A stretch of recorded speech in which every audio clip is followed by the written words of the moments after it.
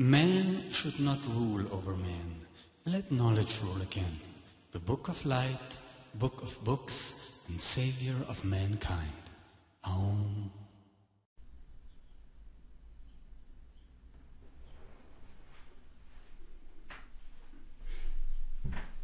So, da sind wir wieder mal. Mit diesen lästigen Fragen, meine Geliebten. Mit denen mir, oder von denen wir bereits seit Kindheit hm, belästigt wurden. Man hat mich gefragt, Antonio, das war ein richtiger Name, Antonio, Augusto Tenicolo, ja, wie ich sechs war oder sieben. Was willst du mal werden? Che Naja, ich wusste gar nicht, was das bedeutet. War vielleicht zu dumm. Ich war zu dumm. Was willst du eigentlich werden? Jetzt werden viele von euch sagen, ich bin ja bereits. Ich bin bereits Arbeiter, Angestellter, Politiker, Banker, Priester, arbeitslos, wie du es brauchst. Das alles bin ich ja bereits, aber bist du das wirklich? Diese Frage wollen wir heute mal gewissenhaft stellen. Wenn man etwas werden will, jetzt mal außen vor gelassen, dass man etwas ist, wenn man etwas werden will, dann will man das doch aus einem bestimmten Grund, meine Lieben. Man ist noch in einem Zustand der Unzufriedenheit, weil man ist ja noch nicht das, was man werden will. Warum will ein Mensch überhaupt das werden? Das hängt laut Buch des Lieds ab von dem vergangenen Leben. Da ist ein Lebensdurst überlebt. Nehmen wir mal an, jemand war ein Wissenschaftler und starb im Herzinfarkt über seinen über sein Röhrchen und sein Petridisch und so weiter. Da könnte man sagen, er wird wieder geboren werden, weil er hat ja noch diesen Lebensdurst, falls er ihn nicht überwunden hat. Gut, egal. Wird er geboren werden in einer Familie, die entsprechend seines Kantas Möglichkeit bringt, dass er da weitermachen kann. Als Wissenschaftler,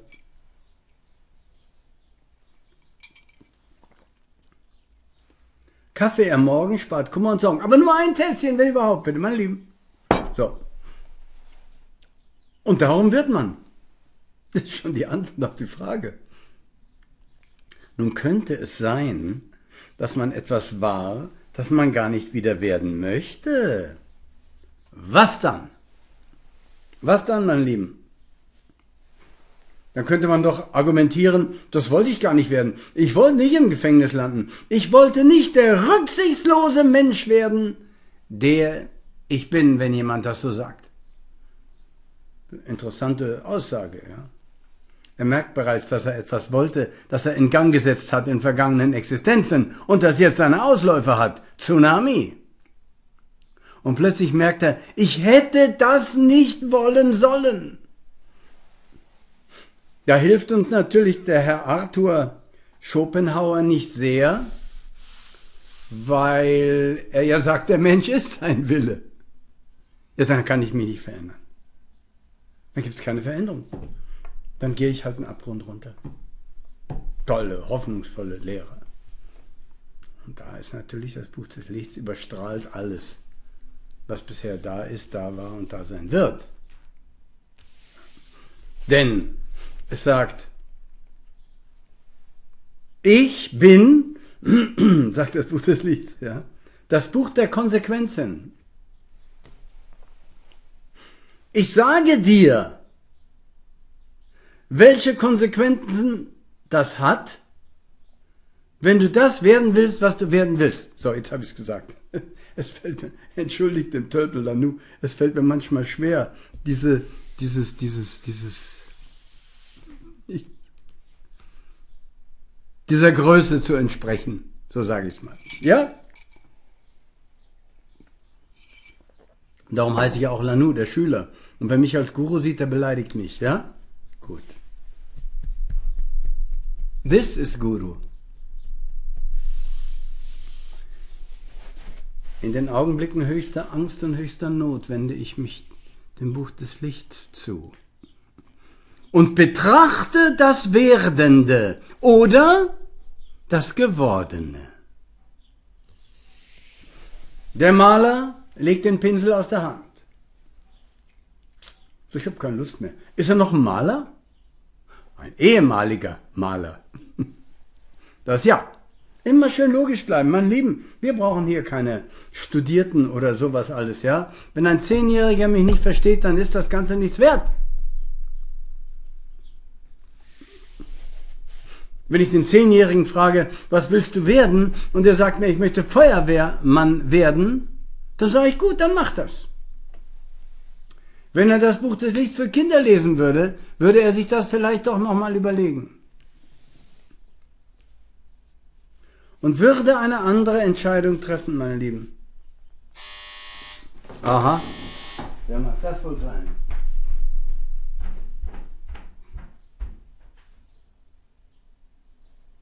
Ja? Fünfter Stock, ja? Bitte mit Fahrstuhl.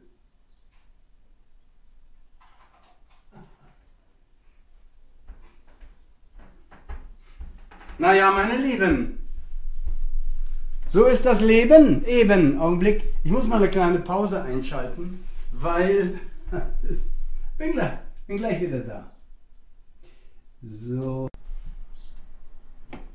Tja, meine Lieben, früher hätte ich einen Wutanfall bekommen. Das gar nicht, wie man den durchgelassen hat. Aber ähm, heute nicht mehr. Ich war aber in einer Erwartungshaltung. Meine Lieben, und Kaffee kalt geworden. Und das ist das größte Problem aller Steine, Pflanzen, Tiere, Menschen, Engel und Götter, die da oben rumschweben. In einem sehr wohl beseligenden Himmel übrigens. Unterschätzt nicht die Seligkeit des Himmels, diese Schwingungen, diese Seligkeitsschwingungen, die man natürlich nur erfährt, wenn man nicht hustet, in seinem Geistkörper, nicht in dieser. Man kann sie auch so erfahren, in der Meditation. Und da lehren nun die Veden, die meine Erzfeinde sind, aber nicht meine, ich bin deren Erzfeind, ich ja keine. Ich habe hier mal mein äh, Sanskrit-Buch wieder, Brahman, äh, Idimaya Shrutam, Takshati Theravadam. Also die sagen ganz klar, mal übersetzen. Habe ich schon wieder vergessen? Naja, also, Itimaya Shrutam, die Vedanta, die Veden, sagen, über die menschliche Wesenheit. Und mein Lieben, dazu sitzen wir hier. Glaubt ihr, ich vergeude meine Zeit, um für euch, mit euch irgendeinen pseudo-esoterischen Kaffeeclub zu haben. Es geht hier darum, wer bin ich? Und es geht darum, auch um die Frage, ist das die richtige Frage? Und wenn das die falsche Frage ist, dann ist auch die falsche Frage, was will ich werden? Gewissermaßen. Wollen wir jetzt mal, und das betrifft natürlich auch unsere Kinder. Wenn die uns fragen, wenn du sie fragst, was willst du denn werden, dann hast du den Kleinen oder die Kleine bereits in der Falle, wenn du nicht das Buch des Lieds für Kinder hast. Also, uff, Paticca Samuppada, Sabha Sankara Anicca Sabha Dhamma Anatta.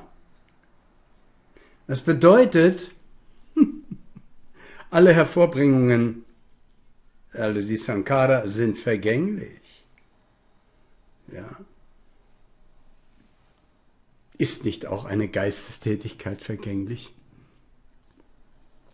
Sagt auch nicht der, der ich will, ich will ein ewiges Leben im Himmel. Ist das nicht auch eine falsche Ansicht? Denn es gibt kein ewiges Leben im Himmel.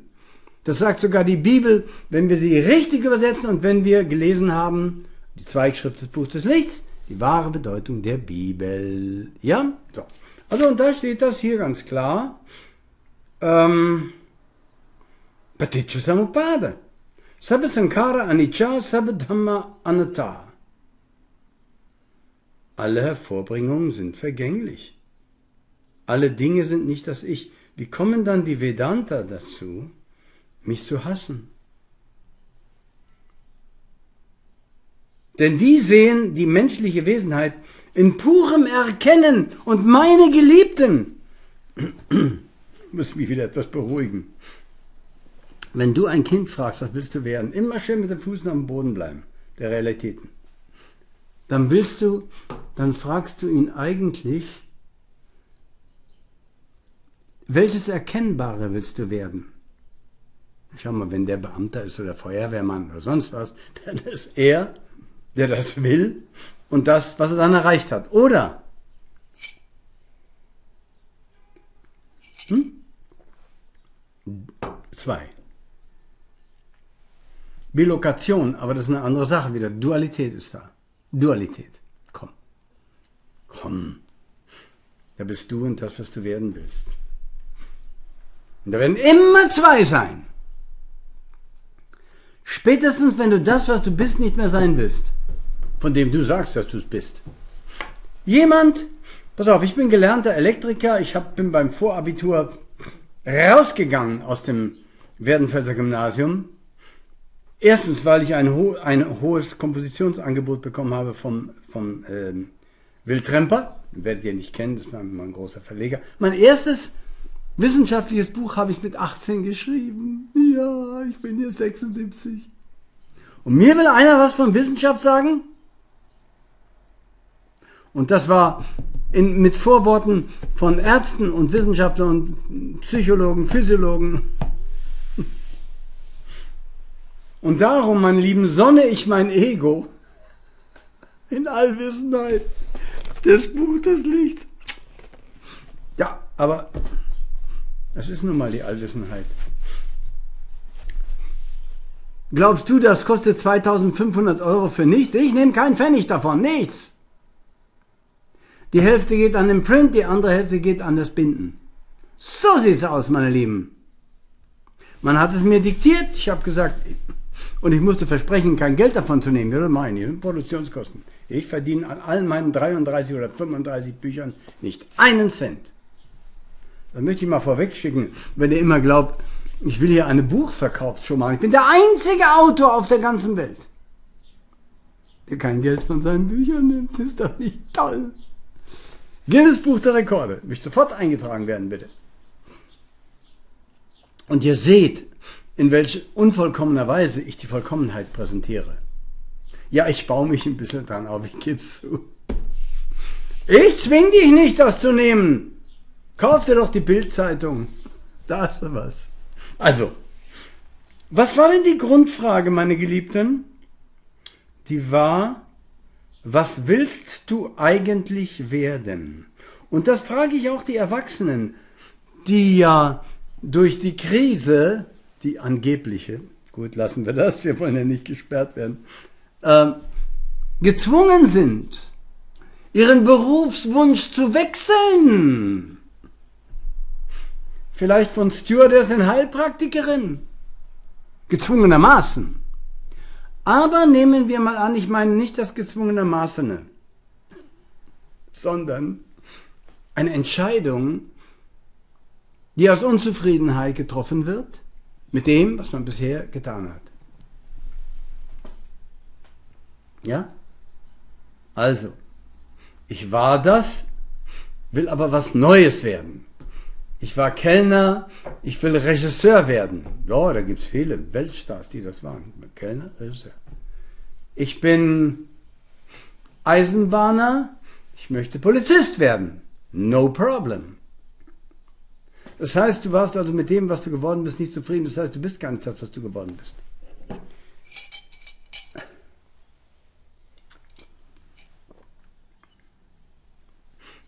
Überhöre nicht das Geniale in dieser Aussage. Du willst jetzt was anderes werden? Was du warst? Dann warst du das gar nicht. Dann hast du dir etwas, eine Beilegung wolltest du. Eine Beilegung. Und das Buch des Lichts für Kinder. Und jetzt hole ich's.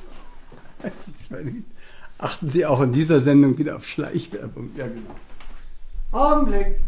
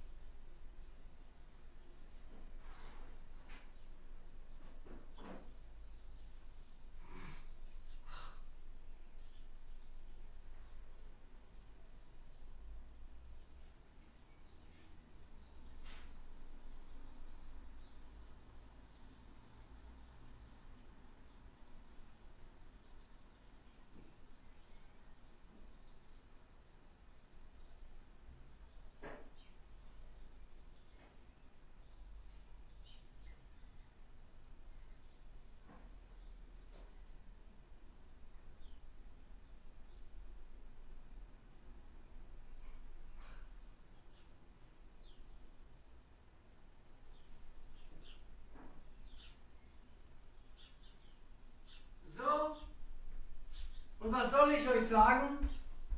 Und was soll ich euch sagen, meine Geliebten? Wieder eine Erwartung, die nicht erfüllt wurde. Oh mein Gott, oh mein Gott, oh mein Gott. Ich hab's nicht. Ich hab's verschenkt. Ich verschenke alle meine Bücher. Von meinen 33 Büchern oder 35, die ich geschrieben habe, habe ich noch 12. Den Rest habe ich verschenkt.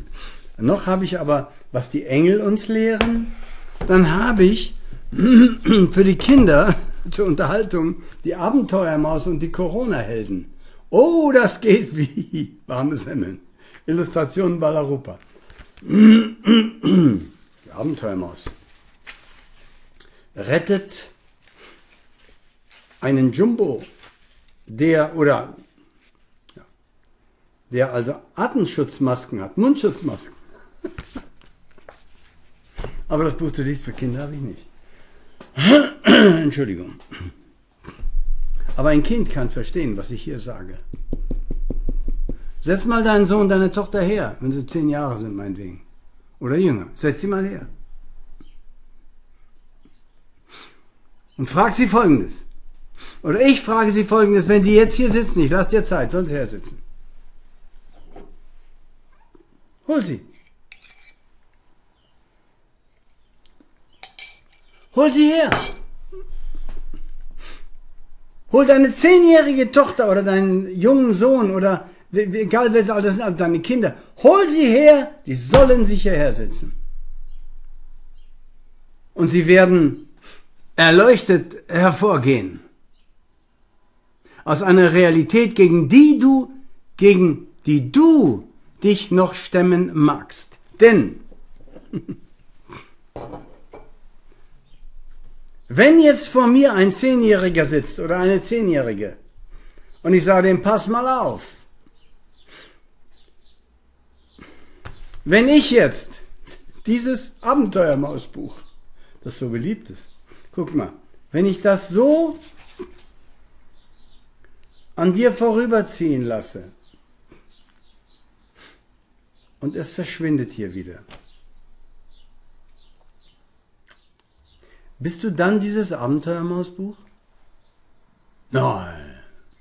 Oder? Oder ja, bist du ja? Nee. Nein. Warum? Weil du nicht das sich Verändernde bist. Du hast die Veränderung wahrgenommen. Die von links nach rechts. Du warst vorher da. Das ist schon wieder, guck mal, das Beispiel natürlich, naja. Du bist jetzt da und du bist immer noch da. Mit anderen Worten, mein liebes Kind, nur dass du Bescheid weißt, du bist auch nicht dein Körper. Denn jeder Student der Medizin wird dir bestätigen, dass sich alle zehn Jahre, sagen wir mal, der Körper eines Menschen, die ganzen Atome, die Strukturen, die Moleküle, die Zelle völlig verändert, völlig neu. Das heißt, du hast jetzt einen Körper. Aber wenn du, angenommen du bist zehn Jahre alt, sagen wir mal, wenn du aber zwölf und dreizehn bist, hast du schon einen neuen Körper. Nicht, der, ich, nicht derselbe. Jeder Arzt wird das bestätigen, kaum jemand will es wissen. das heißt also, das heißt also, was ich dir hier gezeigt habe,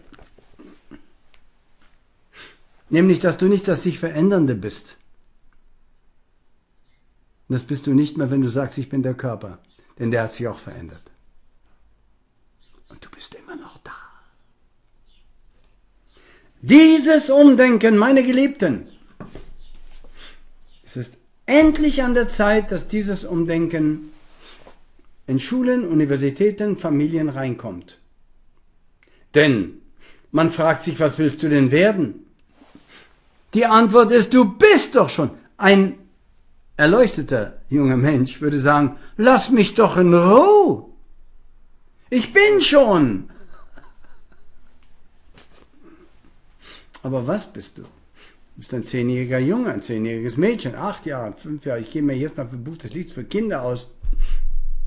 Und bald werden sich alle Strukturen deines Körpers ändern und du bist immer noch da. Wenn du der Körper wärst, würdest du dich gar nicht erinnern, wie du warst mit fünf Jahren.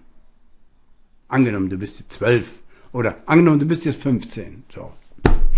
Kannst du dich noch erinnern, wie du zehn warst? Ja, dann bist, dann dann ist das ein klarer Beweis dafür, dass du gar nicht der Körper bist, denn das ist ja ein neuer. Du hast jetzt einen neuen.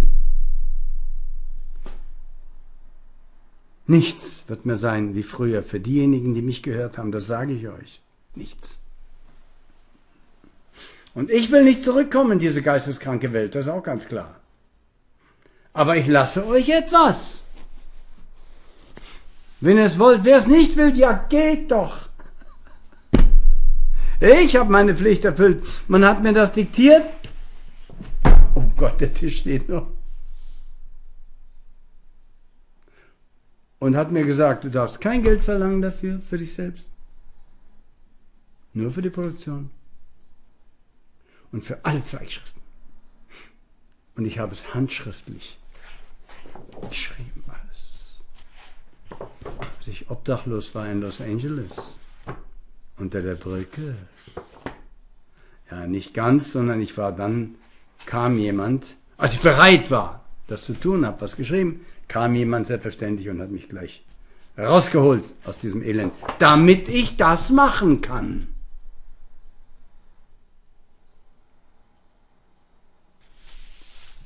Was willst du eigentlich werden?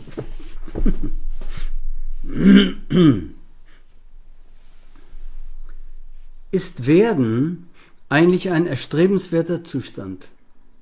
Das frage ich euch jetzt. Ich stelle nur ganz normale Fragen. Die Blume wächst, sie wird zu einer schönen Rose und sie vergeht wieder. Kein Problem. Aber was denkt die Wesenheit in der Rose? Die sagt, ich möchte gern wieder eine Rose sein. Oder hier ist Vergänglichkeit. Vielleicht könnte ich als höchste Pflanzenform in ein Reich gehen, wo ich Unvergänglichkeit erhoffe, ins Tierreich vielleicht, ich weiß ja nichts. Also sie wird dann ein Wurm oder was weiß ich, die Wesen. Und erkennt auch da wieder, was entsteht, muss vergehen. Auch die größte Liebe und der größte Hass. Viele sagen jetzt, das ist doch eine depressive Botschaft, lieber Nanu. Meine Lieben, ich kann doch nichts anderes als euch sagen, dass ihr nicht das Erkannte seid. Während die Veden lehren, du bist das Erkannte. Du kannst, du kannst eine höchste Erkenntnis erlangen. Wenn dem so wäre, wären ihr immer noch zwei. Das, also du und das, was du dann erkennst, von dem die Veden sowie die Religionen behaupten, dass es ewig ist. Aber es gibt kein ewig Erkanntes. Es gibt es nicht. Und für die zwei, drei Menschen auf Erden, die das jetzt hören, sage ich, auf der Suche nach dir selbst, ist ja die ganze Welt, sowieso. Suchst du an der falschen Stelle? So lernt der Mensch. Und nach über 150 Billionen Jahren kommt das Buch des Lichts und sagt, wach endlich auf. Identifiziere dich nicht mehr mit dem Erkannten, denn du bist der Erkenner. Das heißt, Es wäre so dumm wie ein Autoscheinwerfer, der mit dem fahren wir mit dem Auto und es erleuchtet die Umwelt und der, und der Scheinwerfer sagt, ich bin das, was ich da erleuchte. Das ist ja der Scheinwerfer schlauer als du. Wenn er sagt, das bin ich natürlich nicht, ich erleuchte es nur. Wer also, sage es ganz offen und klar, wer das Höchste will, und ich bin hier, um euch zu sagen, ich strebe dem Höchsten zu, habe ich nicht erlangt, um Gottes Willen. Um Gottes Willen. Habe ich nicht erlangt. Kaffee geh weg. Habe ich nicht. Aber ich bin auf dem Weg dazu. Und ich tappe nicht mehr in dieselben Fallen, in die ich so viele Leben lang getappt bin, meine Lieben. Und ich sage euch, Erwachsenen und Kindern, tappt nicht in dieselben Fallen. Befasst euch mit der Lehre. Und zum ersten Mal habe ich hier was. Spricht der Urgrund zu uns, dem wir entstammen. Wir, die Unerschaffenen, zeitlos Ewigen. Wir, die ihn, wir ihn verlassen haben. Warum? Getrieben von Lebensdurst. Ja. Alles ist erfüllt von Lebensdurst und hat eine panische Angst vor dem Tod. Beispiel. Ein Vater mit seinem Kind sitzt da glücklich im Garten. Die Mutter daneben und das Kind freut sich und spielt und kommt zurück und sagt, ich hab euch lieb. Und der Vater beginnt einen kleinen Fehler. Er sagt, wir lieben dich sogar noch, wenn wir tot sind. Was? sagt das Kind. Tot! Äh, ja, also, ja nun, äh, wir, äh, seine Frau sagt, macht schon so, während das Kind wegschaut, also zu ihm so. Siehst du eigentlich das verborgene Leid? Das Kind sagt, sag das nochmal, was, was meinst du, ihr, ihr werdet, äh, ihr werdet irgendwann mal nicht mehr da sein? Ähm, ja, also, äh, ähm, ja, also, aber wir sind immer bei dir. Und das Kind läuft weg, schreit und weint, rennt in sein Zimmer und schließt sich ein. Ich will nicht, dass ihr mich verlasst, dass ihr, und dann bin ich allein und dann seid ihr nicht mehr da. Das ist die Wahrheit. Und was anderes habe ich gesehen auf YouTube. In Amerika ein zehnjähriges Mädchen, das hält ihren kleinen Bruder in den Arm, der gerade fünf Monate alt ist. Und der lächelt, ein Lächeln, der strahlt, wie man so sagt, wie ein Honigkuchenpferd. So, ich bin da. Und dann deine Schwester hält ihn am Oh, was, you're so cute. Ich sag, du bist so wunderbar, du bist so süß, du bist so lieb. Und dann weint sie. Warum weint die eigentlich?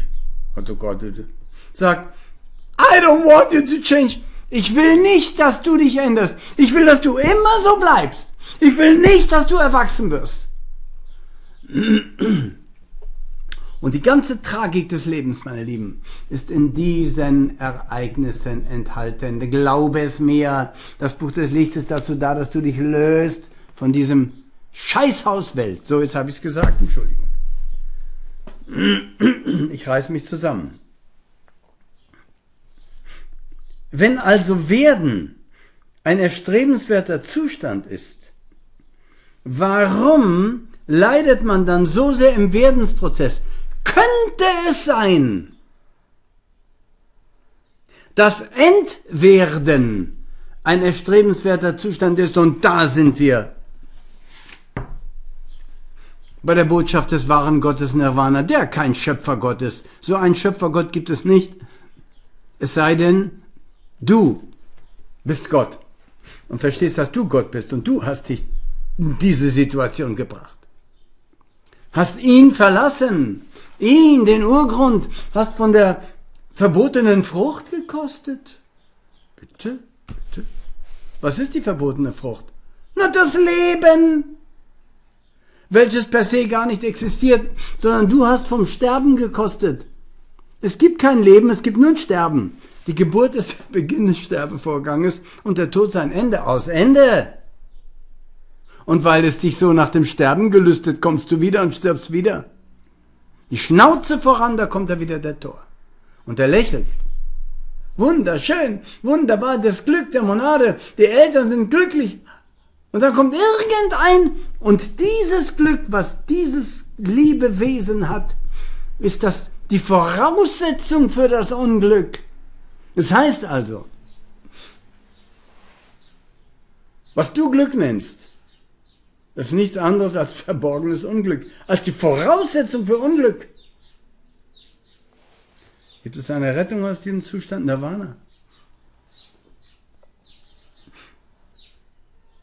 Und der Mensch wird immer wieder denken, er findet in der vergänglichen Welt Erfüllung, indem er dies und das und jenes werden will. Die korrekte Antwort, die man, mit der man ein Kind schon erziehen wollte, ich will gar nichts werden. Ich will ins Kloster, lasst mich in Ruhe. Ich war im Kloster zehn Jahre. Franziskaner Sardinien. Die Idee des Klosters ist sehr gut. Schaff dir dein eigenes Kloster. Verhindere deine leidvolle Reinkarnation. Und sie wird leidvoll sein. Und sei sie in den höchsten Himmeln, die übrigens beseligender sind als tausend Orgasmen. Das stimmt, das stimmt. Aber sie haben ein kleines Problem. Sie sind auch geworden. Mhm. Sie bestehen aus den guten Taten und äh, seelischen Schwingungen derjenigen, die dann dort da Platz nehmen, nachdem sie äh, den Körper verlassen haben. Das wird im Buch des Lieds in keinem anderen Buch so genau beschrieben wie hier. Und in seinen Zweigschriften. Deutsch übersetzt. Und wir sollten mal hören, was die Engel uns lehren. Die wissen nämlich auch vom Leiden eine gewisse haben die auch eine Erkenntnis. Aber die höchste Erkenntnis ist die, nämlich, dass du alles Erkennende oder alles Erkannte, uh, Tölpel Lanu hat wieder falsch gemacht, dass du alles Erkannte als veränderlich, als vergänglich Erkannte nicht bist. Und das kann auch ein Kind verstehen. Wenn du ihm an einem Beispiel eine Situation darlegst oder ein Beispiel, wo sich etwas verändert und du fragst es, bist du das? Das Kind wird natürlich, weil sein Denken, sagen wir, noch nicht so beschmutzt ist, wie das der Erwachsene wird sagen, nö, das bin ich nicht. Aha. Wäre vermessen oder gefährlich zu sagen, na, wenn du Feuerwehrmann werden willst, willst du auch was Veränderliches werden. Willst du nicht wissen, wer du bist? Ja, Falsche Frage. Erkenne, was du nicht bist. Und wenn du das dann willst, löse dich davon. Dieser Wille kann dir erfüllt werden und er wird nicht aufs Neue entstehen. Erstehen. Erstehen. Ja. Und darum ist Kunst, Kultur und Wissenschaft befassen sich und Politik auch, so kaputt sie sein mag, befassen sich immer mit der Frage, wer bin ich und was ist dem Menschen angemessen. Und das gebe ich ihm. Und sie geben es immer seinen Beilegungen, die nie zufrieden sind und die auch sagen, das genügt mir nicht. Seit 150 Billionen Jahren stellen die Menschen die falschen Fragen. Und bis zu den höchsten Göttern, die fragen, wer bin ich?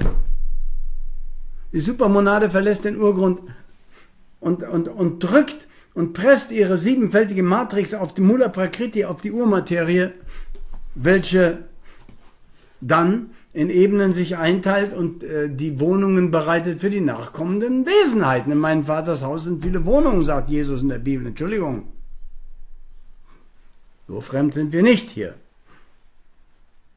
Oder entfernt von der Wahrheit, wenn wir das sagen. Das heißt also, man sollte mit Bedacht Fragen stellen. Mit Bedacht. Und am Anfang war das Wort, eine Schwingung. Und ich sage euch was, Worte haben magische Bedeutung. Du kannst einen Menschen zum Bösen überzeugen, so gut wie zum Guten. Aber noch kaum jemand ist zu euch gekommen und hat gesagt, sei jenseits von Gut und Böse, was man so schön sagt. Und dann sage ich euch noch was. Mahatera Dr. Georg Grimm, unser hochverehrter Mahatera Dr. Georg Grimm, mildester bayerischer Jugendrichter, der den, die Ehre des Buddha wiederhergestellt hat in seinen Werken, hat gesagt, den guten Wurf, mach die gute Tat, den guten Wurf. Ich sage euch was. Das Beste, was du anderen antun kannst, ist dich, ich sage nicht mal die Verbreitung der Lehre, ich gehe nicht mal so weit. Ich sage, dich damit zu befassen, brauchst nicht zu verbreiten, brauchst keinem sagen, besorge dir das Buch Lebens von, brauchst du nicht machen. Ich mache das, weil ich es versprochen habe. Du brauchst nichts zu machen. Sei ein Magnet. Befasse dich intensiv mit der Lehre und du hast bereits Gutes getan, denn, und so schrieb auch unser hochverehrter Mahatera Dr. Georg Grimm, ein Heiliger, der auf dem Berg sitzt, der nie jemanden sieht, der meditiert und der sich mit Kräutern ernährt, der schafft mehr Gutes als alle Helfer der Welt. So ist das. Es genügt, dass du dich mit der Lehre befasst. Und dann wirst du schon sehen. Und damit hast du eigentlich schon genug Gutes getan. Selbstverständlich, wenn du durch die Stadt gehst und da sitzt vielleicht ein armer Mensch und der hat überhaupt nichts und du siehst, das ist also nicht nur ein Fake, sondern na, dann gibst du ihm halt was, wenn du es hast. Mein Gott, lass doch. Ja? So blauäugig auf ein zinsfreies, umlaufgesichertes Geldsystem zu warten, wie es im Buch des Lichts äh, angeboten wird. Und damit das Elend auf der ganzen Welt, sogar auf der vergänglichen Welt zu beenden, so weit gehen wir gar nicht im Augenblick. Ja? Meine Lieben, ich danke euch für eure Aufmerksamkeit. Man wirft so Fragen in den Raum. Was willst du eigentlich werden? Was für eine Frage. Man suggeriert nämlich dann dem Gefragten, dass er dann glücklich ist, wenn er uns sagt, was er dann werden will. Man suggeriert ihm was, man hypnotisiert ihn. Ich sage nicht, ihr sollt nicht Feuerwehrmann, Wissenschaftler, diesen, das und jenes werden. Ihr sollt nur alle diese Berufe in eine neue Richtung lenken. Und nicht ein Feuerwehrmann sein, der extra Feuer anzündet, damit er gelobt wird, war es neulich wieder. Wenn er als erster da war und sagt, da brennt! Ja, ist alles menschlich, komm, hör auf. Ehre sei dem Buch des Lebens, meine Lieben. Danke für eure Aufmerksamkeit.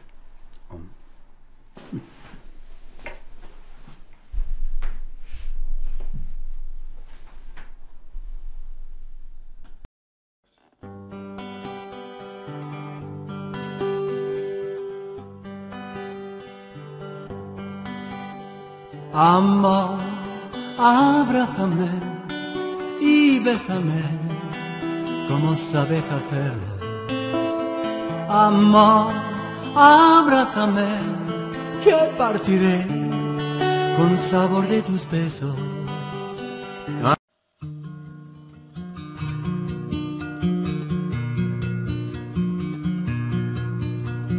Virgit, yo te quiero tanto. Virgit, tú eres mi amor. Tú estás en todos mis sueños. Virgit, tú eres mi dolor. Virgit, yo te quiero.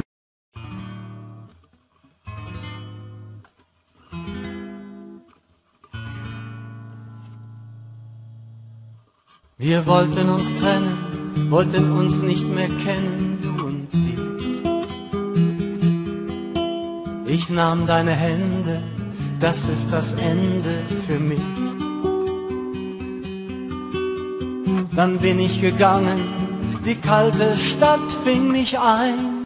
Ich an dich.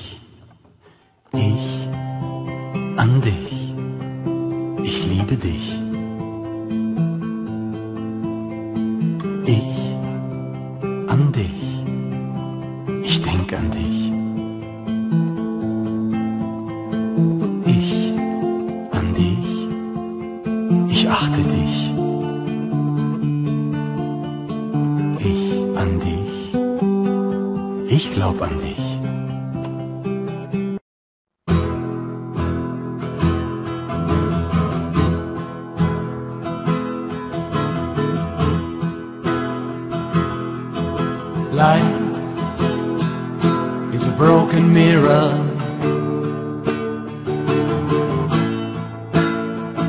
In was selfish dream. Love can be so cruel, babe. And so unreal. And I love you.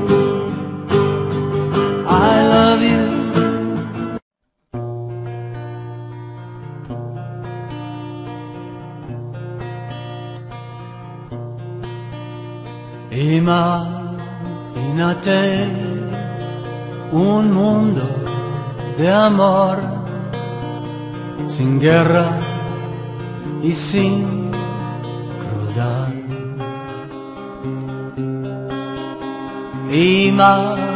Imagínate tú y yo en este mundo para la eternidad.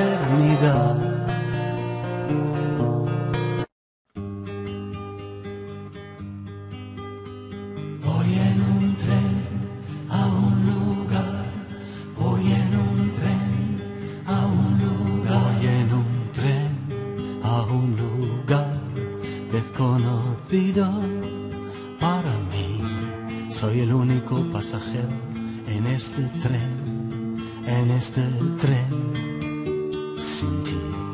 Voy en un tren y yo no sé, yo no sé el destino. Lo que sé es que te quiero, te quiero mucho, con todo mi corazón. Voy en un tren, pequeño pueblo, en Cataluña, cerca de la Costa Brava, te vi a ti. Tus ojos verdes me han fascinado.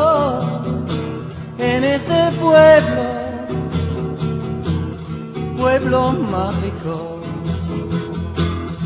Hemos bailado soledad. Tiene muchos nombres, muchos nombres, pero uno solo para mí. Soledad puede solo significar la felicidad perdida, un tiempo infinito sin ti. Yo he dicho, vete si tú quieres, y tú te has ido andando. Yo he dicho, me es igual, así todo ha empezado.